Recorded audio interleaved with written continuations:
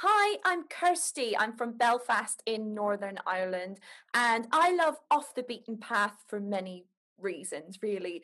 The writing is fantastic, the music is wonderful, and the actors do a great job every time we hear it and every time we hear it it's it's different but in the best possible way my favorite thing really through all of this is the sense of community that the play has the audience members aren't only participating, but they're also talking to each other about what's going to happen next, who they like the most, who they would like to see gone, and, and things like that. So it's wonderful that the writing lends itself to so many different choices and essentially gives us more choice as a community.